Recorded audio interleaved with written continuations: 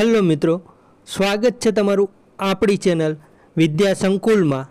તો મિત્રો, આજે આપણે જોઈશું વીએમસી માટે ઇકોનોમીના પ્રશ્નોનો પાર્ટ બે. જો તમે ઇકોનોમીનો પ્રથમ પાર્ટ ના જોયો હોય, તો પહેલાં તમે એ ખાસ જોઈ લેજો. તો ચાલો શરૂ કરીએ છીએ આજનો આપણો પ્રથમ પ્રશ્ન. તો આજનો આપણો પ્રથમ પ્રશ્ન છે, પ્રશ્ન નંબર એક. ત્રીજી પંચવર્ષીય યોજનામાં સૌથી વધુ મહત્ત્વ કયા ક્ષેત્રને આપવામાં આવ્યું હતું? એ ઉદ્યોગ ક્ષેત્ર, બી સેવા ક્ષેત્ર, સી ખેતી ક્ષેત્ર અને ડી ઊર્જા ક્ષેત્ર. તો જવાબ આવશે સી ખેતી ક્ષેત્ર. નેક્સ્ટ પ્રશ્ન છે. પ્રશ્ન નંબર બે. પ્લાન હોલિડેઝના વર્ષો કયા છે? એ ઓગણીસો છાસઠથી ઓગણસિત્તેર બી ઓગણીસો એકસઠથી છાસઠ, સી ઓગણીસો ત્રેસઠથી છાસઠ અને ડી ઓગણીસો છાસઠથી એકોતેર. તો જવાબ આવશે એ ઓગણીસો છાસઠથી ઓગણસિત્તેર નેક્સ્ટ પ્રશ્ન છે પ્રશ્ન નંબર ત્રણ. Self reliance and self generating ઇકોનોમીની બાબત કઈ યોજનામાં સૌ પ્રથમવાર દાખલ થઈ? એ પાંચમી પંચવર્ષીય યોજના. બી બીજી પંચવર્ષીય યોજના. સી છઠ્ઠી પંચવર્ષીય યોજના. અને ડી ત્રીજી પંચવર્ષીય યોજના. તો જવાબ આવશે ડી. ત્રીજી પંચવર્ષીય યોજના. નેક્સ્ટ પ્રશ્ન છે. પ્રશ્ન નંબર ચાર. ચોથી યોજના ઓગણીસો ઓગણસિત્તેરથી ચુંબોતેરમાં સૌથી વધુ મહત્ત્વ કયા ક્ષેત્રને આપવામાં આવ્યું હતું? એ, વાહન વ્યવહાર અને ઊર્જા. બી, ખેતી ક્ષેત્ર. સી, સિંચાઈ અને ઊર્જા. અને ડી, મોટા ઉદ્યોગો. તો જવાબ આવશે એ વાહન વ્યવહાર અને ઊર્જા ક્ષેત્ર. નેક્સ્ટ પ્રશ્ન છે. પ્રશ્ન નંબર પાંચ. પાંચમી પંચવર્ષીય યોજનાનો અંતિમ મુસદ્દો કોણે રજૂ કર્યો હતો? એ હેરડ ડોમર, બી ડીપી ધર, સી વી એમ દાંડેકર અને ડી પી આર દાંડેકર. તો જવાબ આવશે બી ડીપી ધર નેક્સ્ટ પ્રશ્ન છે. પ્રશ્ન નંબર છ. ગરીબી હટાવો સૂત્ર કઈ યોજના દરમિયાન આપવામાં આવ્યું હતું? એ બીજી પંચવર્ષીય યોજના. બી ચોથી પંચવર્ષીય યોજના. સી ત્રીજી પંચવર્ષીય યોજના. અને ડી પાંચમી પંચવર્ષીય યોજના. તો જવાબ આવશે ડી, પાંચમી પંચવર્ષીય યોજના. નેક્સ્ટ પ્રશ્ન છે. પ્રશ્ન નંબર સાત. બારમી પંચવર્ષીય યોજનામાં કેવી આર્થિક વૃદ્ધિ સિદ્ધ કરવાનું વિચારાયું હતું? એ, ઝડપી, બી, ઝડપી, સમાવેશી અને ટકાઉ, સી ઝડપી અને સમાવેશ, ડી, સમાવેશી અને ટકાઉ.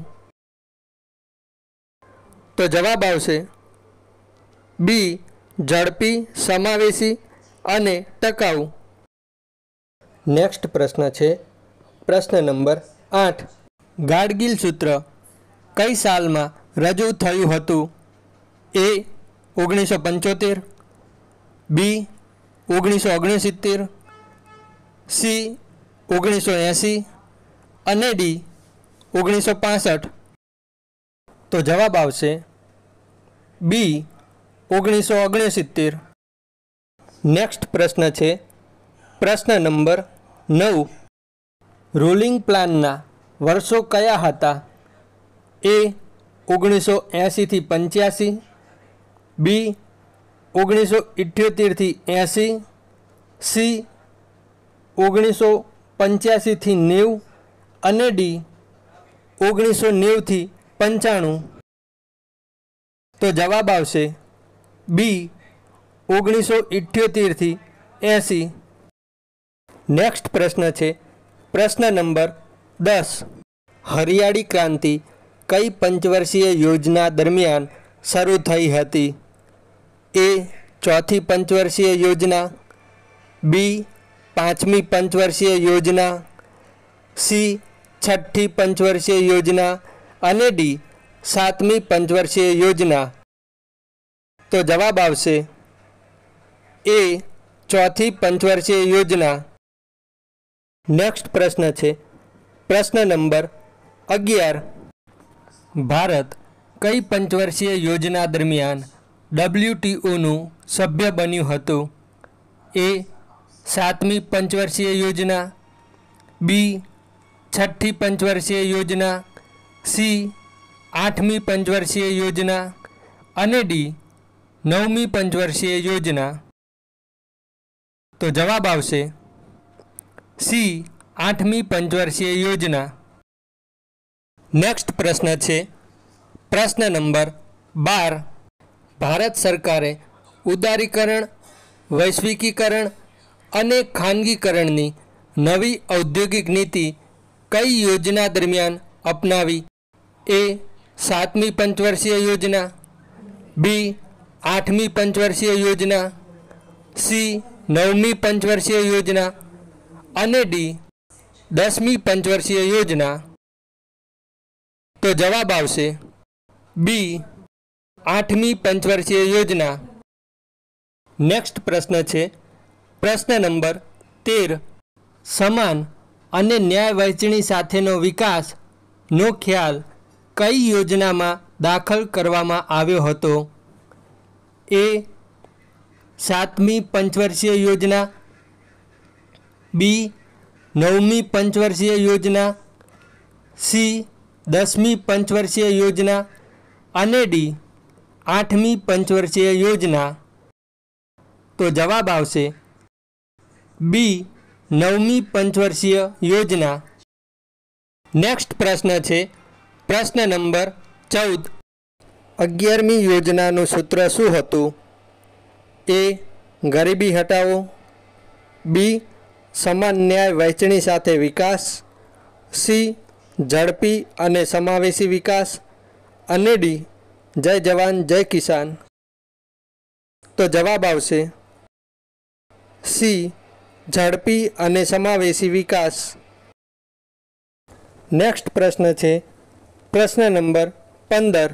નીતિ આયોગના અધ્યક્ષ કોણ હોય છે? એ રાષ્ટ્રપતિ, બી વડાપ્રધાન, સી લોકસભાના સ્પીકર અને ડી આરબીઆઈના ગવર્નર. તો જવાબ આવશે બી વડાપ્રધાન. નેક્સ્ટ પ્રશ્ન છે. પ્રશ્ન નંબર સોળ. નીતિ આયોગમાં ઉપાધ્યક્ષની નિમણૂક કોણ કરે છે? એ. રાષ્ટ્રપતિ. બી. વડાપ્રધાન. સી. આરબીઆઈના ગવર્નર. અને ડી. આપેલમાંથી એક પણ નહીં. તો જવાબ આવશે બી. વડાપ્રધાન. નેક્સ્ટ પ્રશ્ન છે. પ્રશ્ન નંબર સત્તર. સમાજવાદી અર્થવ્યવસ્થા કયા પ્રકારની હોય છે? એ, બંધ અર્થવ્યવસ્થા, બી, ખુલ્લી અર્થવ્યવસ્થા, સી, મૂડીવાદી અર્થવ્યવસ્થા અને ડી, મિશ્ર અર્થવ્યવસ્થા. તો જવાબ આવશે એ, બંધ અર્થવ્યવસ્થા. નેક્સ્ટ પ્રશ્ન છે. પ્રશ્ન નંબર અઢાર. સાર્વજનિક ખાનગી ભાગીદારી મોડેલની સમીક્ષા તથા પુનઃ સશક્ત બનાવવા માટે કોની અધ્યક્ષતામાં એક સમિતિનું નિર્માણ કરવામાં આવ્યું? A. Doctor Vijay Kelkar. B. Doctor Hasmukh Adhia. C. Doctor Ashok Bhushan. અને ડી. ડૉક્ટર રામ મનોહર. તો જવાબ આવશે એ. ડૉક્ટર વિજય કેલકર. નેક્સ્ટ પ્રશ્ન છે. પ્રશ્ન નંબર ઓગણીસ. નીચેનામાંથી પીપીપી મોડલ અંતર્ગત વિકસિત ભારતનું પ્રથમ એરપોર્ટ કયું છે? A. Kochi international airport. B. Kempegowda international airport. C. Rajiv Gandhi international airport. અને D. Sardar Vallabhbhai international airport. તો જવાબ આવશે એ કોચી ઇન્ટરનેશનલ એરપોર્ટ. અને મિત્રો આજનો આપણો છેલ્લો પ્રશ્ન. પ્રશ્ન નંબર વીસ. મૂડીવાદી અર્થવ્યવસ્થા કયા પ્રકારની હોય છે? એ બંધ અર્થવ્યવસ્થા. બી ખુલ્લી અર્થવ્યવસ્થા. સી સમાજવાદી અર્થવ્યવસ્થા. અને ડી મિશ્ર અર્થવ્યવસ્થા. તો જવાબ આવશે બી. ખુલ્લી અર્થવ્યવસ્થા. વીડિયો જોવા માટે તમારો ખૂબ ખૂબ આભાર મિત્રો. વિડીયોને લાઈક, શેર અને સબસ્ક્રાઈબ અવશ્ય કરજો.